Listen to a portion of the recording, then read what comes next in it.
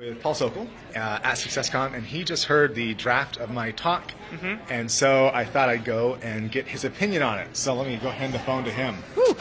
Camera's down there. Oh, right. So uh, basically, what I got out of that talk is it's going to be able to unlock enterprise level um, optimization uh, that for small businesses. So the type of really deep data, nerdy stuff that you know giant corporations pay data scientists to pick and sift through and pick out these insights.